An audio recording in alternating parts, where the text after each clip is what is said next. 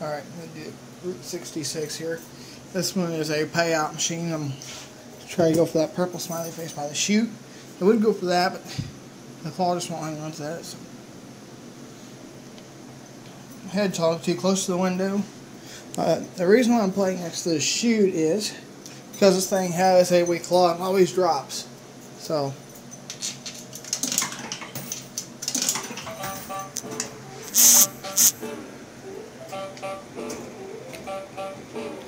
Trying to miss the chute here. I don't know if it's going to hit it.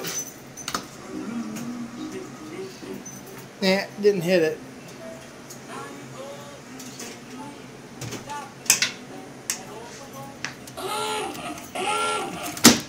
Cool. Thanks for watching.